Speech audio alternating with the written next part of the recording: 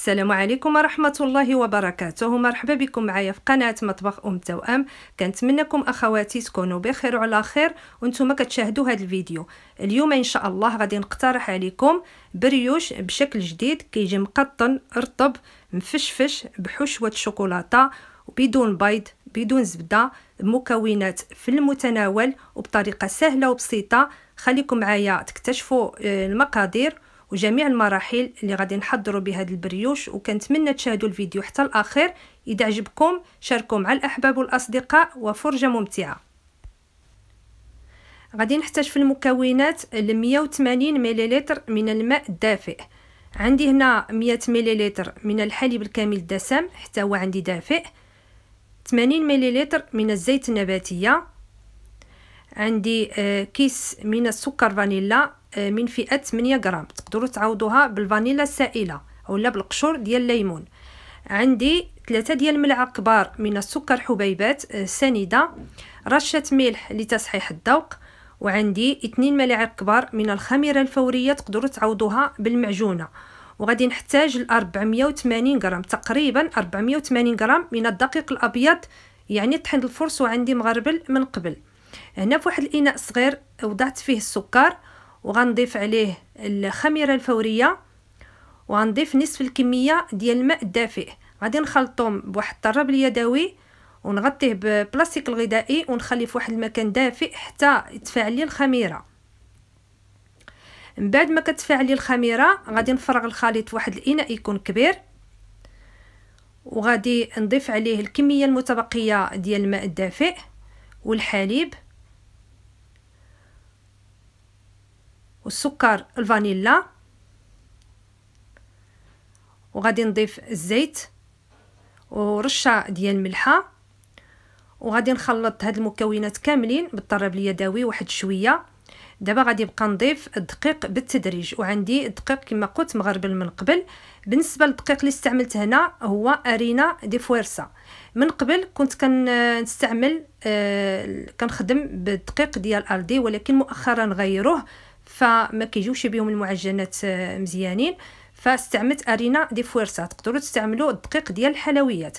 غادي نحاول نضيف بالتدريج دقيق وأنا كندخلو في الخليط. يعني من يعني ما نحتاجوش نعجنوا هاد البريوش.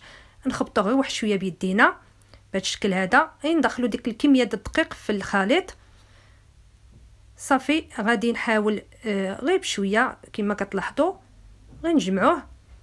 من بعد ما كنكمل الكميه ديال الدقيق كنتحصلوا على واحد العجين اللي كيكون كيتلصق واحد شوية في اليد. بهذا الشكل هذا يكون خفيف واحد شوية. غادي ندهنو بواحد شوية ديال الزيت نشكلو على شكل كرة وغادي نغطيه بواحد البلاستيك الغذائي وبواحد المنديل ونخليه حتى يختمر. دابا الجو بارد راه غادي يحتاج واحد شوية يختمر يحتاج واحد الوقت آه، طويل ماشي في الصيف دغيا كيختمر. من بعد ما كيختمر وكيضاعف آه، في الحجم ديالو ضروري نخليوه يختمر مزيان باش ينجح لينا هذا البريوش. غادي نخرج منه الهواء اللي فيه وغادي نرش سطح العمل بالقليل من الدقيق وغادي نقلب ديك العجينة في فوق سطح العمل. نحاول غير نجمعها على شكل كرة كما كتلاحظوا هو كيجي كيتلصق ولكن ملي كنجمعوها صافي ما كتبقاش يتلصق. غادي نطلقها بالمدلك بهذا الشكل هذا. نحاولوا آه، نسرحوها على شكل مستطيل. إذا كان عندكم سطح العمل كبير حاولوا تزيدوا تسرحوها. المهم العجينة ما تكون لا رقيقه باش ما تخرجكمش الحشوه وما تكونش غليظة باش ما يجيكمش مدقس ومعجن من داخل. آه كما كتلاحظوا غادي نسرحوها وتكون العجينة متوسطة يعني ما رقيقه ما خفيفة. غادي نقدوا الجوانب ديالها. وغادي آه ناخذ واحد الشوكولاته ديال الدهن. أنا استعملت هنا هاد الشوكولات ديال ديال ميركادونا. تقدروا تستعملوا ليدل تقدروا تستعملوا النوتيلا الأصلية اللي عندكم في البيوت ديالكم كتخدموا بها هي اللي غادي تدهنوا بها هاد العجينة.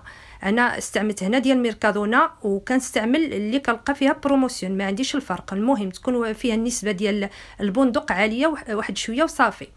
وبالنسبة للشوكولاط ديال الدهن نحاولوا نسخنوه واحد شوية في microondas لأن الجو بارد أو لا في واحد الحمام مائي. إذا كان الجو سخون ما نحتاجوش نسخنوها راه كتكون دايبة راسها. غادي نلفوها على شكل حلزوني بهذه الطريقة هذه ونشدوا الجوانب ونقدوه مزيان ديك الشريط وغادي نقطعوه بواحد السكين اللي كيكون حاد واحد السكين يكون ماضي مزيان. و كيجي في بحال هذا الشكل هذا الشكل حلزوني آه ونمسحوا السكين إذا لقيناه موسخ بالشوكولات. باش ما يوسخ ليناش ما يضيع ليناش العجينة. غادي نكمل هاد الكمية ديال العجين نقطعو. وغادي ناخذ واحد هاد الملعقة ديال العسل أو لا شي آه، ملعقة خشبية. وتاخذوا يعني الظهر ديالها آه، اليد ديالها عفوا. وغادي تضغطوا في الوسط ديال هذا العجين. بهذا الشكل هذا. حاولوا نضغطوه مزيان. يعني حتى نكملوهم كاملين. وعاد غادي نرجعوا للولية مرة. ونزيدو نضغطو عليها المره الثانية باش كيتثبت ديك الخط في الوسط. بهذا الشكل هذا. من طبيعة الحال نكونوا وضعناهم في الصينيه اللي غتدخل الفران. وعندي الفران كيسخن من قبل. أنا هنا ما خليتهمش يختمروا خليتهم يرتاحوا. غير واحد خمسة دقائق رشيتهم بشوية ديال البيض مخلط إيه، اللي فيه اللي عنده الحساسية البيض ومع هاد الوصفة ديال البريوش ما فيهاش البيض يستغناو على البيض.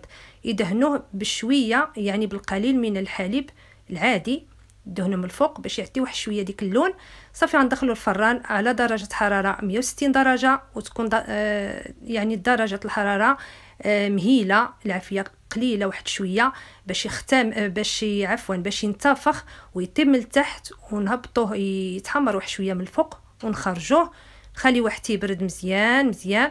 وعاد غادي نرشوه بالسكر ثقيل يعني السكر كلاصي واللي ما بغاش السكر يقدر ياخذ غير واحد شوية ديال الناباج ويدهنو من الفوق ونقدموه بالصحة والراحة. هذه كتبقى كفكرة الأمهات آه على حسب ولادهم الكوتي ولا الفطور في الصباح كما لاحظتوا ساهل في التحضير وشوكولاتة الدهن آه محببة من عند الصغار وحتى الكبار. كيجي مفشفش كيجي رائع في الشكل ديالو وحتى المذاق ديالو. وكما كتلاحظوا كيجي سهل في التحضير. كنتمنى تكون عجبتكم الوصفة وتكون نالت استحسانكم و... وتجربوها اللي جربتها ما تنساش تصيفط لي التطبيق عبر الانستغرام وتقدروا تشكلوا هاد ال brioche آه، صغير يعني عندكم الاختيار كنتمنى تزيدوا تشجعوني وتزيدوا تدعموني باللايكات ديالكم وبالتعليق ديالكم الجميله وخليت لكم الراحة وفي أمان الله وفي الفرصة القادمة بحول الله وصفة جديدة إن شاء الله. وبالنسبة للمقادير غادي تلقاوهم يا في الوسط الفيديو يا في صندوق الوصف. وشكرا على حسن المتابعة وفي الفيديو القادم. بحول الله والسلام عليكم ورحمة الله وبركاته.